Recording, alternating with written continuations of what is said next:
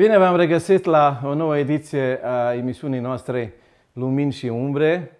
Lumini avem, căldură din belșug. Umbre încercăm să le alungăm, să le ducem în zona care nu ne interesează, să venim cu luminile în față și contrastul care îl realizează instrumentele caricaturistului sper să ne conducă pe cărări drepte. Pentru astăzi o să lucrăm împreună o ilustrare a unui fapt interesant care mi-a tras atenția din Evanghelia după Ioan și dacă citim uh, relatarea uh, Evanghelistului Ioan în uh, capitolul 19, de la versetul 19 se spune așa. Pilat a scris o însemnare pe care a pus-o deasupra crucii și era scris Iisus din Nazaret, împăratul iudeilor. Mulți din iudei au citit această însemnare pentru că locul unde fusese răstignit Iisus era aproape de cetate. Era scris în evreiește, latinește și grecește. Preoții ce mai de seamă a iudeilor au zis lui Pilat, nu scrie împăratul iudeilor, ci scrie că el a zis, eu sunt împăratul iudeilor. Ce am scris, am scris, a răspuns Pilat. Este de ajuns textul nostru pentru astăzi și să vedem cum îl putem uh, ilustra. Uh, când ne gândim la uh, aceste însemnări, dar de ce în trei limbi? Dar oare erau mai multe plăcuțe, erau o singură plăcuță? Uh, în cele trei limbi reprezintă trei culturi. Culturile de obicei, ca și să ne întoarcem la grădina Edenului, uh, pentru a stabili o cultură e nevoie de niște bariere, de niște garduri. Uite, facem un gard. Grădina Edenului și ea era un loc protejat cu garduri, tocmai pentru a permite libertatea unei dezvoltări în, între aceste, în aceste spații. Să scriem aici era raiul. Și plecând de la aceasta, barierele între culturi aduc fiecare uh, ceva special, dar uh, împreună pot să formeze un tot, tot unitar și foarte interesant.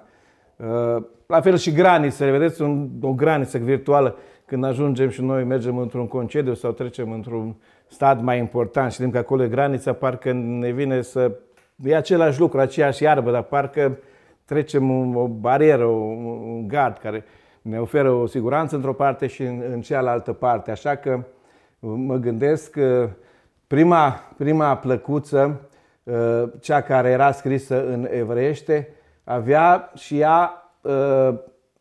un, uh, un conținut și un, un, un rol ce a adus cultura, pentru că ne referim la cultură, ce a adus cultura evreiască în cultura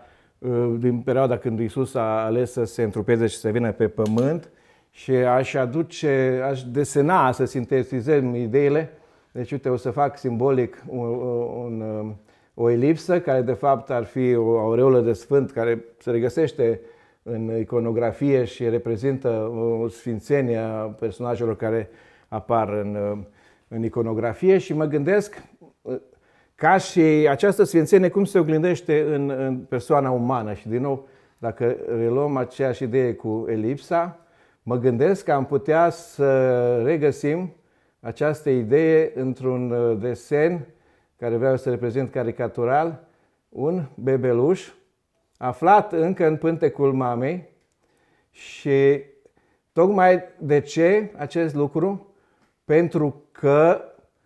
Biblia a fost prima care ne-a revelat acest lucru că uh, bebelușul deja are, se bucură în, uh, când aude un un glas cunoscut sau o veste bună încă în pânte cu mamei și ceea ce a dus cultura uh, evreilor, în cultura existentă în acea perioadă, a dus tocmai aceasta, valoarea umană prin faptul că exista o relație clară care era în legea lor, în Tora, scrisă între uh, Dumnezeu, Creatorul, care a spus să facem om după chipul și asemănarea noastră. Deci valoarea umană era dată de uh, faptul că era creat după chipul și asemănarea Creatorului al, al lui Dumnezeu. Acest lucru nu era cum în celorlalte culturi care nu prețuiau în așa măsură viața umană, dar să vedem a doua plăcuță ce valoare ar fi avut sau are, fiind vorba de o altă cultură, ce a adus cultura romană, pentru că era scris în latină, limba uh, celor care cuceriseră lumea pe la ora respectivă și aduseseră, uh, în primul rând, ce era important pentru roman, ce au adus ei în, în lumea de atunci, care și pentru ziua de astăzi ne este, ne este valabil, au adus ceea ce în latină se scrie lex. Lex, adică legea. Dura lex sed lex. E dură, dar este lege. Și romanii aveau ei multe uh, alte păcate, dar erau oameni care erau drepți. Și uh, o să desenez un, un, o formă de drum, o șosea, uite, recunoașteți benzile astea care împart, mijlocul ăsta drumului care împart în două benzi. De ce? Pentru că uh,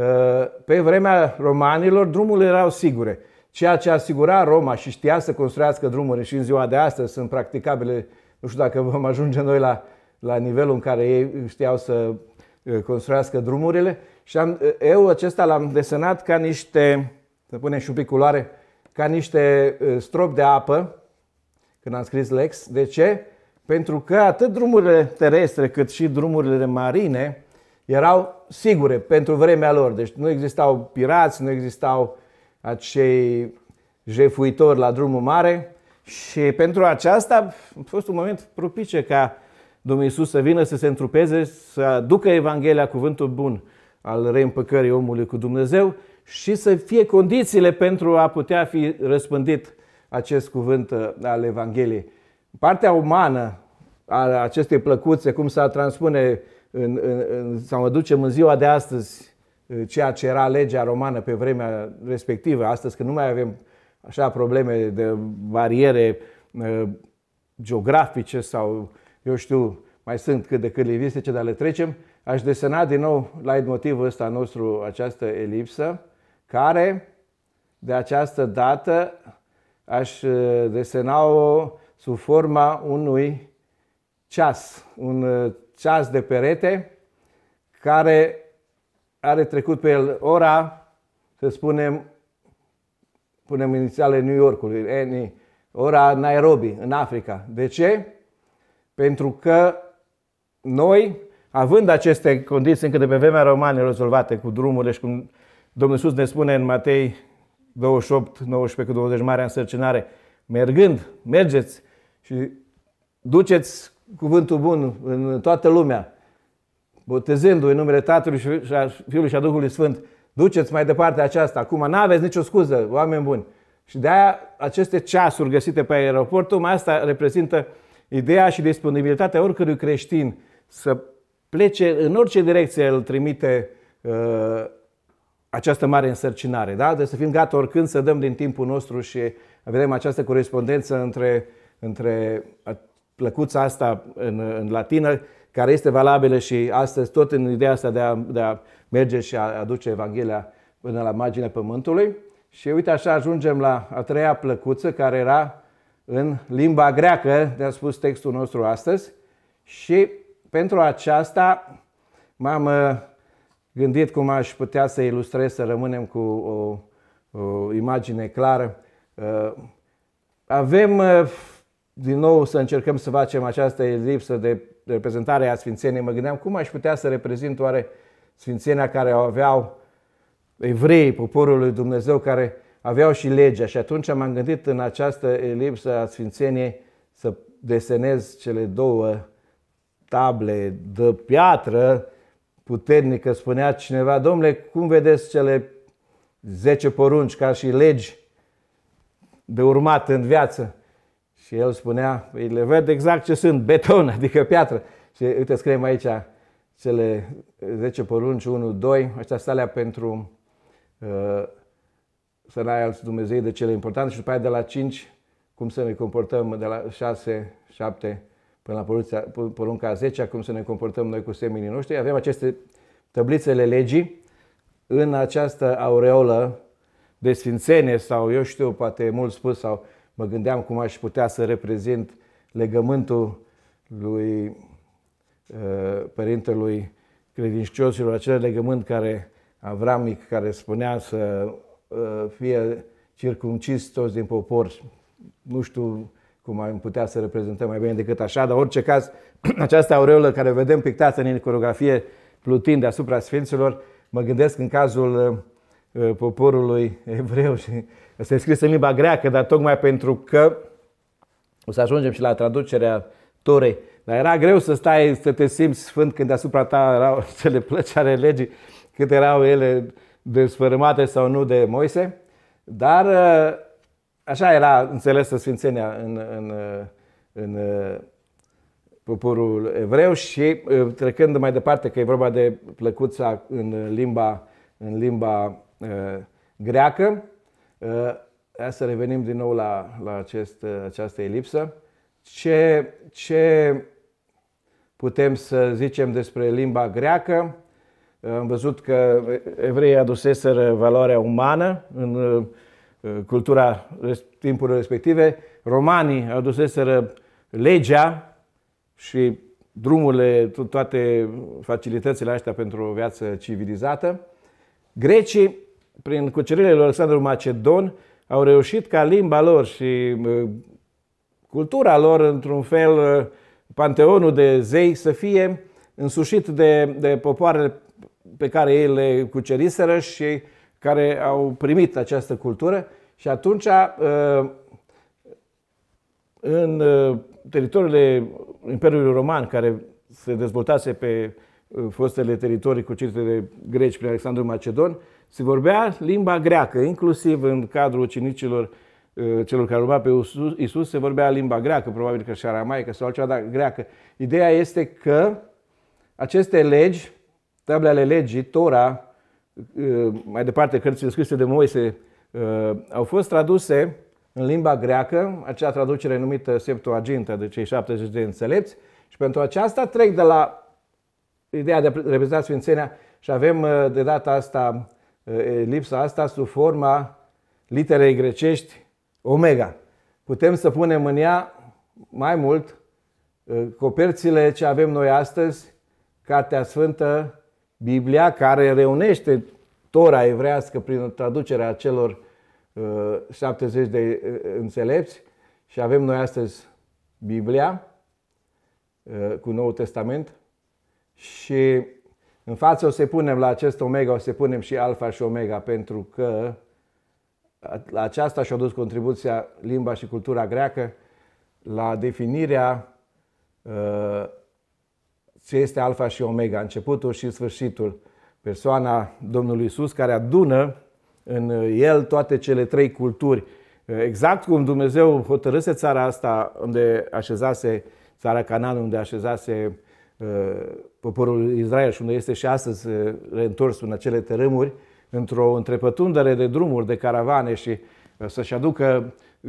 contribuția, influența asupra culturilor lumii, cei care treceau în acea zonă în contact cu templul lui Dumnezeu,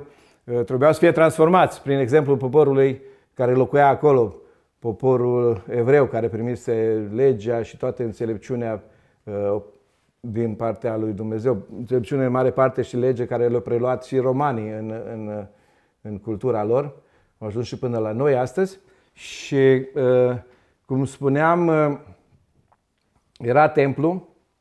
lui Dumnezeu. Ce este interesant că uh, în momentul în care Isus este acuzat și trimis să fie omorât pe cruce. Una din acuzații este, el afirmase cândva, dar cu un spirit de umor, spun eu, uh, stricați acest templu, vorbea probabil în fața, vorbea în fața templului, în sigur, în marele templu al lui Irod cel mare și zice, uh, și eu în trei zile îl voi rezidi. Uh, ce este interesant, ce este interesant, în, am citit undeva, am auzit în, în original, în uh, greaca veche, folosită pentru scrierea Evangheliilor, cuvântul folosit pentru stricați acest templu,